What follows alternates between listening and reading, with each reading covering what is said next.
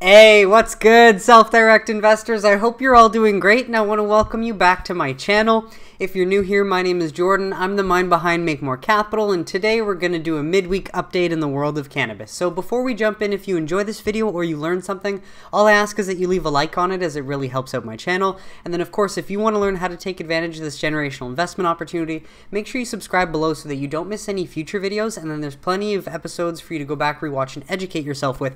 I've tried to put all the facts and news in one place so that you can get used to the industry, get used to the companies, and eventually take action when you are ready. But we're going to start today as it has officially closed. The Tilray and Aphria merger uh, has come into effect, creating the new Tilray, a global cannabis leader. Uh, so it's good to know that Tilray shares will continue trading on the NASDAQ under the symbol Tilray. Starting May 5th, 2021 today, Tilray shares will commence trading on the Toronto Stock Exchange under the symbol Tilray. Check out their new logo. Now, they will always be Aphria to me, and seeing as Aphria is sort of sentimental because it was my first big investment that saw me 4x my money and allowed me to to you know start phase two of my plan to get some of that cash into US MSOs. Uh, it's it's it's been a great learning experience, and you know it's a sad day that we lose the Aphria name, but they'll always be Aphria to me. Now, what does this mean on, uh, ultimately going forward? We expect that the business combination will provide, among others, the following financial and strategic benefits. So these are again just highlighting the main reasons why they merged in the first place. We'll create the world's largest cannabis global cannabis company. The combination of Aphria and Tilray brings together two highly complementary businesses to create the leading cannabis focused CPG company with the largest global geographic footprint in the industry. Fact. Um, especially with their diversified assets in Germany and Portugal. They do have that head start in Europe now, which is great. Strategic footprint and operational scale. We believe the company has the strategic footprint and operational scale necessary to compete more effectively in today's consolidating cannabis market with a strong, flexible balance sheet, strong cash balance, and access to capital, which we believe will give the company the ability to accelerate growth and deliver long term sustainable value for stockholders low cost, state of the art production, and the leading cannabis adult use cannabis producer. That is pretty much a Aphria, what, what Tilray got out of the deal. The demand for the company's products will be supported by low cost, state of the art cultivation, processing, and manufacturing facilities, and it will have a complete portfolio of branded Cannabis 2.0 products to strengthen its leadership position in Canada. Positioned to pursue an accelerated international growth strategy, the company is well positioned to pursue growth opportunities with its strong medical cannabis brands, distribution network in Germany, and end to end European Union good manufacturing practices supply chain, which includes its production facilities in Portugal and Germany and enhance consumer packaged goods presence and infrastructure in the U.S. In the U.S., Tilray has a strong consumer packaged goods presence and infrastructure with two strategic pillars, including Sweetwater, a leading cannabis lifestyle branded craft brewer, and Manitoba Harvest, a pioneer in branded hemp, CBD, and wellness products with access to 17,000 stores in North America. In the event of federal permissibility, the company expects to be well positioned to compete in the U.S. cannabis market given its existing strong brands and distribution system, in addition to its track record of growth and consumer consumer packaged goods and cannabis products. So while their focus now will be in Canada and in building up Europe with the medical model, they will have access when that's ready. And then, of course, there's substantial synergies. This is not substantial. Saving $81 million, that's just an excuse uh, I think that they added on. But regardless, Tilray, Aphria is now Tilray. And um, after the deal, the new Tilray eyes global cannabis brands. I want to just jump through this article quickly, just again highlight where they at, where they where they sit right now. You already have diverse assets: a cannabis cultivation facility in Portugal, the Sweetwater Brewing beer brand in Atlanta, the Manitoba Harvest Hemp Food Company in Canada, and CC Pharma, the pharmaceutical the pharmaceutical distributor based in Germany. What comes next? It's a three-part strategy, says Simon. In Canada, where we already have 17% to 18% market share, my objective is to get to a 30% market or a 30% share of the overall adult use market, and that's going to be by selling adult use medical products and Cannabis 2.0 products, which are drinks and edibles. And I think it's important to note that in Ontario, Canada's most populated province, the government is opening 120 stores a month for the rest of 2021, which means by the end of this year, like seven months from now, Ontario is going to have over a thousand stores. And the more stores means more legal access to, to legal cannabis as opposed to going to the black market. It brings down the cost of cannabis and it could help them get to that 30% up from where they sit right now. That will involve coming out with new products and expanding our brands. But again, the, the store openings does help them do that uh, coincidentally. And secondly, in Europe, which is known for medical cannabis today, we already have a distribution system in place to sell more medical cannabis uh, at 13,000 active pharmacies, sourcing it from our Portuguese facility and selling it throughout Europe. So that is a big play. And then what about the US? I imagine that's the third part of the strategy. And that really depends on legalization when the US makes that decision. So that's not anything that they can control. We will have consumer products standing ready for recreational use in the US US once legalization occurs. We'll look to do an acquisition in consumer packaged goods world that will help us parlay into recreational cannabis. We may also do something in the medical world in the US, for example, a topical cream. So, definitely at this point, worth just watching Tilray, seeing where they go from here, and trying to consider getting in at any low points if you feel that they will uh, be able to dominate and have a, a, step up in the long run, having that, that big footprint in, in the European Union right now. And on top of that, an ex Coke lawyer takes top legal role at cannabis giant Tilray. So obviously, uh, you want to hire the top lawyers or the top people in any sort of um, area of expertise. And so, a former Coca Cola lawyer will become the new interim chief legal officer for Tilray, the world's largest weed operation by revenue. Uh, the company announced Monday total revenue, not just cannabis revenue, uh, to be fair. Tilray and Aphria Inc., a rival Canadian cannabis company it agreed to acquire in December, confirmed May 3rd the completion of that $3.8 billion deal and the appointment of a new executive leadership team. Tilray's general counsel, Dara Redler, will serve as interim legal chief and corporate sec- secretary of the combined company, which will use the Tilray name. Redler didn't respond to a request for comment about the interim status of her new position. In a message on LinkedIn, though, Redler said that she was proud to be part of the new Tilray leading the way in global cannabis. So, uh, obviously, doesn't mean much, but you want to just make sure that you're bringing in top talent from other industries that have experience getting your products and your brands, you know, around the around the world globally and into new markets. So on top of that though, the best news, Illinois cannabis sales continue to smash records with revenue exceeding that of liquor. So love to see that on May 5th. They've already got the numbers for April.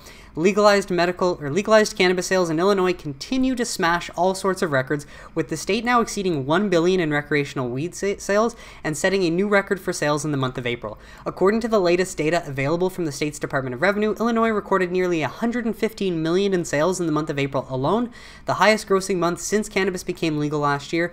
By comparison, the state saw 37 million in sales during the month of April 2020, last year. So just think about that. In all, Illinois has now racked up over a billion dollars in recreational cannabis sales since legalization took place January 2021. Of those sales, nearly 777 million were made to in-state residents, according to the Department of Revenue. The state also set another remarkable record in the first quarter of 2021 with tax revenues for cannabis sales 86 million exceeding those of liquor 72 million for the first time ever the trend continues, the state is expected to surpass 1 billion in sales in 2021 alone, according to officials, which means it'll take them just 2 years. It takes Illinois just 2 years to do 1 billion dollars in an entire sales year, which is massive. So if we look up, they started the year January, sales hit 88 million, February hit 80 million. Uh, so a bit of a slump after January, and there's less days in February, but then March a big 109 million out the gate, and then April 114.9 million. Um, and look, 35 million coming from out-of-state residents. This is where par- parking lots in Illinois are filled from license plates from those around the state that do not have legal access themselves, and they come to Illinois and are willing to fund Illinois' taxes with their own money because they can't get it where they where they live. So this is great to see, just that the growth in states where cannabis, adult use cannabis, was recently legalized, just to grow. There's little stopping that. So on top of this, I want to bring you some some awesome resources I found on Twitter. This one from Max Mosner. Uh, per headset Stifel, total number of sales uh, and amount of sales across all markets where they track data up 30% year over year in April. So that's 30% from April 2020. That's a big number. And in rebounding Nevada, sales were up 71%. And in red hot Pennsylvania, sales were up 79%. Flower up over 103% from again April 2020. Top four brands with market share in Pennsylvania happen to be Green Thumb Industries, Cresco Labs, TerrAscend, and Trulieve. Now, so this is uh, a screenshot that he got from Stifel, apparently per headset. So and this little screenshot highlights Pennsylvania's top brands' latest three months ending April 2021. And number one was Green Thumb Industries with their brand Rhythm. Number two was Cresco Labs with their brand Cresco Labs. Number three was TerrAscend with their brand Kind Tree Cannabis. Number four was Trulieve with Pure Pen. Number five, Terrapin Care Station is a private company, so not an MSO that I talk about. Uh, G Leaf is Columbia Care. Grassroots is Curaleaf. Calypso is another private company, not publicly listed. And then Prime Wellness of Pennsylvania is Acreage. So it's nice to see which brands uh, are selling uh, and which MSOs are behind the top selling brands in Pennsylvania for the latest three months. That's always nice. And on top of that, uh, Cashflow underscore free, a great resource on Twitter. I recommend anyone in the cannabis space follow. He has been uh, updating this this uh, amazing resource as of May 1st, 2021, where you can see the companies by tier Tier 1 cannabis operators, Tier 2 cannabis operators down here, and Tier 3. Then you've got the share price, their total calculated shares, their calculated market cap, and calculated enterprise value, which refers to their book value. And on top of that, we have how much outstanding debt the company has here. And then in this column, we have the number of stores open now versus the number of licensed and total stores that they can open in time. And then it breaks down the revenue estimates for last year or what they did last year for 2021 and for the next year, 2022. Then we have the EBITDA estimates, which is their earnings before interest, taxes, depreciation, and amortization, which shows profitability, what they did in 2020, what they expect to do in 2021, and what they expect to do in 2022, which will be next year, and how much revenue growth they're expecting from last year, 2020, up until 2022. And then you can look at the EBITDA margin percentages, uh, their calculated enterprise value to sales multiples, um, and enterprise value to EBITDA multiples. And ideally, especially, I like to look at the enterprise value to sales multiples. The lower uh, the multiple, the better deal you are getting based on the sales that they're expecting to come in 2021 and 2022. Uh, a great resource again. I'd recommend going to follow uh, cashflow underscore free, but that is there for you. Another one we have um, Thomas George and Scott Willis. They are the ones that run Grizzle, which is a cannabis research brand, uh, an education brand as well. But one thing that they they highlighted in one of their recent videos is their portfolio update. So I wanted to show you firsthand. Well, I mean, you know, they're nice enough to share it on here. I would recommend you go follow them because they're great resources as well. But they're showing us what they're invested in. Their largest holding is Cresco Labs, then Trulieve, then Curaleaf, uh, then Green Thumb. And so if we look at their weighting in May, obviously they've changed it, so they're they're a bit more active in their trading and they move it around more. But based on what they had in May, Cresco 35%, Trulieve 25%, Curaleaf 20%, Green Thumb 20% of their portfolio. Now, most of their money is in the small, mid US stocks because obviously smaller cap gives you more potential for your money to increase because they're valued at either $2 billion market cap or less. So, again, much smaller, uh, worth less has the potential to increase more over time as opposed to some of the bigger MSOs. Uh, their largest holding is Vireo at 40%, then TerrAscend at 25%, Gage at 10%, Jushi at 10%, Consortium at 5%, Harvest at 5%, and Verano at 5%. Their Canadian LP picks, they only have the two, either Aphria Tilray uh, and Village Farms ironic, but similar to just the, the only two that I would view uh, considering investing in. But again, that's just me, my opinion. But that being said, they have increased their weighting into the new Tilray up to 70%, with the remaining 30% of their Canadian investments in Village Farms International. And then lastly, they do invest in cannabis equipment, a very fast growing part of the industry as well. Uh, GrowGeneration, 45% of their portfolio is in them, which is the Home Depot of cannabis. 35% of their portfolio is in Scott's Miracle-Gro, which I imagine covers the soil and a lot of the growing materials needed for home grows. And then Hydro Farm with 20%. I don't know much about Hydrofarm, but I imagine there's plenty of opportunity for new companies in this space to get into uh, and take advantage of. But I just wanted to show you this as we get to peek into someone else's portfolio so you can weigh that against your own plan and your own judgment and make any sort of adjustments accordingly based on the new information. And Natalie Fertig covers cannabis policy with Politico, uh, providing us with a co sponsor update telling us the Safe Banking Act got five new Senate co sponsors in the month of April added Tim Kaine, Mark Warner, Senator Baldwin, Senator Lujan, and Senator Mark Kelly. So there are now 27 Democrats, two independents, and seven GOP co-sponsors for this bill. And if we do need 60, uh, it's nice to see that at least two independent and seven GOP sponsors are already on it so far. Uh, we've got plenty of time. It's just a matter of being patient, as I, I would say that very often, but it is very important to see success as an investor. And Verano to report first quarter 2021 financial results on May 18th, 2021. So they will be releasing results for their first quarter, um, which is again January, February, and March 2021. Uh, Uh, before the market opens on Tuesday, May 18th. And on top of that, Cresco to report their first quarter 2021 financial results on May 27th and announces conversion to US GAAP accounting. So they will announce their first quarter end results from January to March 31st, 2021 on Thursday, May 27th before market opens. Cresco will be going last again. Love to see that. The company also announced that it will, for the first time, report its financial results under accounting principles generally accepted in the United States, US, generally generally accepted accounting principles, resulting in the later reporting uh, date than typical. The conversion from IFRS to US GAAP has been made to further prepare Cresco Labs for future capital market opportunities in the US and to more closely align with reporting standards familiar to US investors and stakeholders. Love it. Now, on top of that, MSOs did come heavy with lots of updates this week. Green Thumb Industries enters the Virginia cannabis market, so they're happy to announce that it has signed a definitive agreement to acquire 100% of Dharma Pharmaceuticals LLC, expanding its cannabis distribution network in the Virginia cannabis market. Dharma was the first operator to provide medical products to Virginia's patients in 2020 and is strategically positioned to scale in the emerging adult use market. Virginia became the first southeastern state in the United States to legalize adult use cannabis after the Virginia General Assembly approved legalization on April 7, 2021. This follows several post election legalization initiatives at the state level, including New York in March and New Mexico in April, bringing the total to 17 states and three U.S. territories with legal and regulated cannabis programs for adult use over 40% of the U.S. population. While Virginia currently allows cannabis access only to qualified medical patients, adult use sales are expected to commence in January 2024. So keep that in mind. It's a long ways out until they can actually sell to the adult use cannabis market 2024, and we're only 2021. But what this does is get them into the medical market there so that they can build their systems efficiently in the state of Virginia and then be ready to capitalize when that switch does eventually come. With a population of nearly 8. 1.5 million people, Virginia is expected to generate over 1.5 billion in legal cannabis sales, creating significant tax revenue for the Commonwealth and employ thousands of Virginians. So the only thing I noticed in here is it doesn't tell us how much that they paid, so I would love to know how much, but I imagine that will come later. But upon completion of the acquisition, Green Thumb will have presence in 13 markets, California, Colorado, Connecticut, Florida, Illinois, Maryland, Massachusetts, Nevada, New Jersey, New York, Ohio, Pennsylvania, and Virginia. As one of only five licensees in Virginia, in the Virginia medical cannabis market, Dharma is licensed to grow, process, and retail cannabis and sell retail cannabis directly to consumers.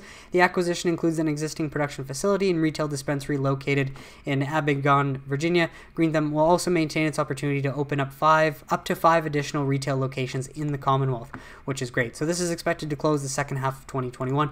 Also want to add is that companies don't have to include the price that they paid. Typically when they do, it's, you know, because they're happy about it or they thought they got a good deal and they're showing off. So it's not that they're being shady by not showing it. I just would love to know, but I'm sure we'll, we'll find that out in the future.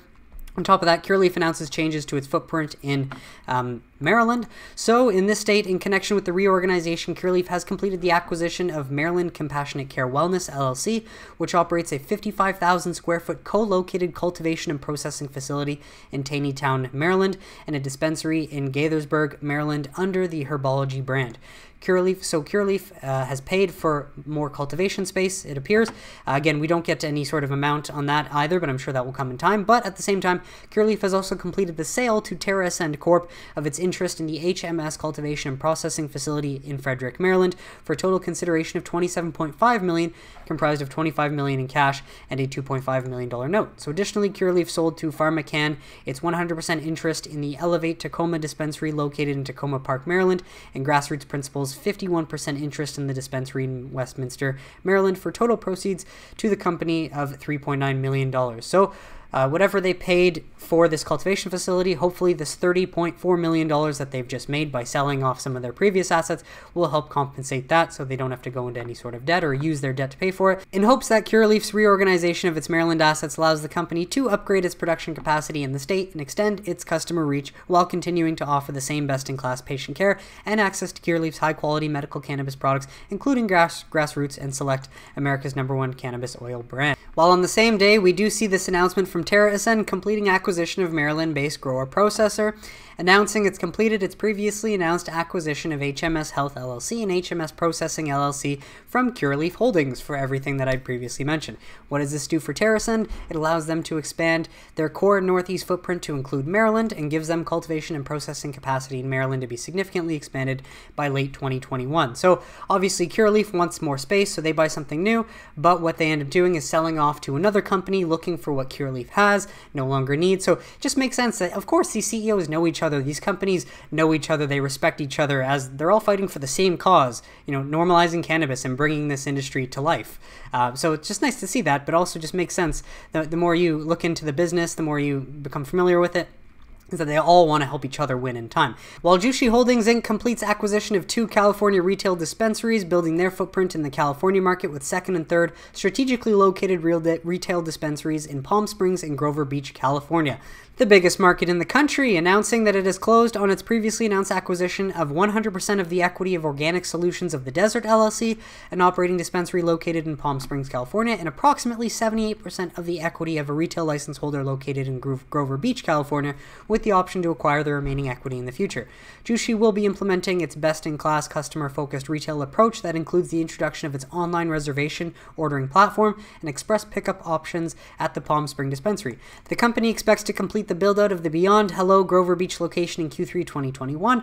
The two new locations expand Jushi's footprint beyond its first California dispensary, Beyond Hello Santa Barbara, which opened in October 2020. So it seems like business is good there and they want more. Jushi also plans to add additional California location in Culver City, which is expected to open by Q2 2022, subject to state and regulatory approval. So as companies start to you know, gain their momentum uh, and build out their systems. They want to get into the key states that allow them to grow more. Now, some great alternative news. Turns out frequent cannabis consumers are actually more physically active than non users, study finds, smashing stereotypes. How lovely. In a stereotype busting new study, researchers found that frequent cannabis consumers are actually more likely to be physically active compared to their non using counterparts.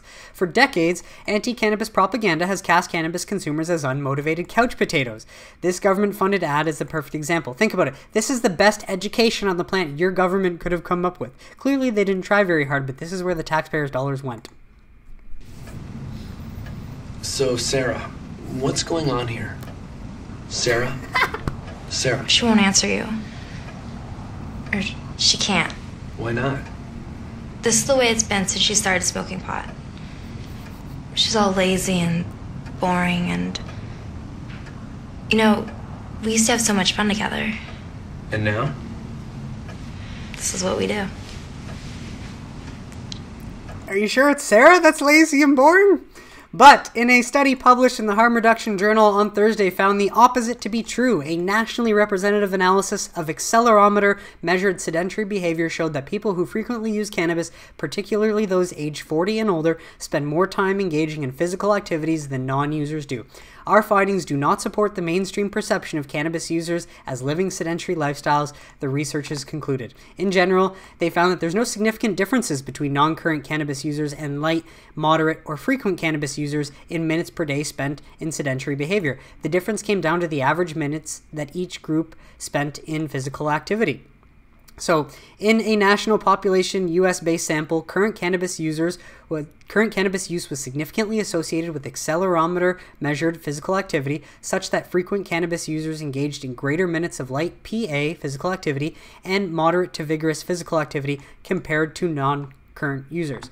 The researchers also looked at the relationship between cannabis use, activity, and age, finding that people over 40 who consume cannabis moderately spent an average of 16 more minutes engaged in moderate physical activity each day than non users. To explain that trend, the study suggests that cannabis is being used for exercise induced pain recovery since physical activity brings about pain and muscle soreness, and a decreased pain threshold and muscle hypersensitivity have been documented with increasing age. These findings add to the cannabis and physical behavior literature by incorporating objective accelerometer measures, the researchers concluded. Further understanding of the association between cannabis use and health behaviors is essential to fully addressing the public health concerns associated with cannabis use. Gotta love new findings, though, that help help put the old stereotypes to bed. And great news for West Virginians eligible West Virginians can now register for medical cannabis cards. The West Virginia Office of Medical Cannabis announced eligible West Virginians with serious medical conditions can register for a medical cannabis patient card online. A list of physicians registered to certify patients as eligible for the use of medical cannabis is also available on the site. Though the registered physician will certify if the patient is eligible, the patient must apply for a patient identification card on the site. And the West Virginia Medical Cannabis Act permits West Virginia residents with serious medical conditions to procure medical cannabis for certified medical use in the following forms pill, oil, topical forms, including gels, creams, or ointments, a form medically appropriate for administer- administration by vaporization or nebulization, dry leaf or plant form, tincture, liquid, or dermal patch. So, still pretty tight regulations, but regardless, this is great because West Virginians now have access to a non addictive, safe alternative uh, pain reliever. And New York colleges increase cannabis courses amid, amid weed legalization. Just check out how many cannabis puns they tried to fit in here. Higher education, that's one, is taking on a new meaning in New York after the state legalized the recreational use of cannabis. Colleges and universities are adding new courses about cannabis to the syllabus to prepare students for jobs in the budding industry. That's two. And they're not just offering token lessons on the history of weed either. That's three. Online Excelsior College is marketing new master's degree courses in cannabis, leading to a graduate certificate in cannabis control, as well as expanding undergraduate classes. We're in the space to educate people about the cannabis industry. Cannabis will be a multi billion dollar industry in New York by 2025, Scott Dolan, the Dean of Excelsior College's graduate program, told The Post. Yes, and psst, in case you didn't know, cannabis is already a multi billion dollar industry USA wide. Cannabis is expected to be sold in local stores and pot shops sometime next year, but that is wise to prepare New Yorkers for the potential massive industry that's coming their way and also wake these students up to the fact that it is already a massive industry all across the US and that it's time for them to start learning about it so they can eventually get a job in it and start paying attention. Sad news though, out of Mexico, Mexican lawmakers did fail to legalize cannabis ahead of their Supreme Court deadline. This session, it seemed like the reform would finally be achieved. The Senate approved a legalization bill late last year, and then the Chamber of Deputies made revisions and passed it in March, sending it back to the originating chamber. A couple of Senate committees then took up and cleared the amended measure, but leaders quickly started signaling that certain revisions made the proposal unworkable, so politicians ruined it. Basically, it. That's where the situation stood for weeks as the court's latest April 30th deadline approached. There was an expectation that the Senate would again ask the court for an extension, but that did not take place. Instead, lawmakers have begun floating the idea of holding a special legislative session after June's elections in order to get the job done this year. Um, so, advocates, including those with Mexico Unido, are now pushing for a special session after lawmakers missed their deadline, which does make me a bit optimistic, uh, showing the severity of this deadline, as the Supreme Court did deem their current laws unconstitutional, which is why they need to fix it by this date. Clearly, they were not able to get that done, so instead of asking for an exception, they've begun floating the idea and looking for a possible solution to get this done after June's election by the end of this year. And that would mean by at least passing the bill and hopefully getting it signed by the end of this year. Regardless, welcome to investing, welcome to politics, and welcome to bureaucracy. It always slows things down and causes delays. But on top of this sad note, we do have breaking news out of Switzerland as Swiss parliament votes in favor of adult use cannabis legalization. The National Council's Public Health Committee voted 13 votes to 11, with one abstention, to the parliamentary initiative by Representative Mr. Heinz Siegenthaler. Essentially, the aim of the, of the legislation is to regulate the cannabis market in Switzerland rather than, to, rather than continue to ban adult use. This vote will make Switzerland the first country in Europe to allow a legal adult use cannabis supply chain, according to reporting from Swiss news outlet Zürichsee Zitzun. Zitun. I don't know. The, mean, the move means that Switzerland instantly joins the avant garde of European cannabis. However, this is only the first important hurdle for full legalization of cannabis in Switzerland. The bill next goes to the Swiss Senate, which is called the Council of States. With this move, the National Council's Public Health Commission has followed up on various other initiatives to legalize and regulate the cannabis market rather than continue with the prohibition of adult use cannabis. The proposed legislation has many features to protect Swiss consumers. Thank you, Switzerland, for taking that first step to adult use. Plus, if Switzerland wasn't already super high on your list of destinations to go visit based on the waterfalls, the valley towns, and the mountain views, if this is what Swiss women look like and they enjoy consuming cannabis, count me in for a visit post COVID. And lastly, we've got an updated cannabis investor earnings conference call calendar with all of the LPs and MSOs that are going to be releasing earnings in the coming month. So it feels like just yesterday we were in March anticipating Q4 earnings to see how the companies did in 2020. Now it's May, and starting next week, we will already be able to see how these MSOs, most importantly, are performing and heading into Q1 of 2021 already, on top of what they did last year. Uh, so I'm excited. You should be excited too. Let me know in the comments what you think. If you enjoyed this video, folks, please leave a like on it as it really helps out my channel. Subscribe below so that you don't miss any future videos, and I will catch you on Sunday for the next episode of This Week in Cannabis News. Have a great day, everybody.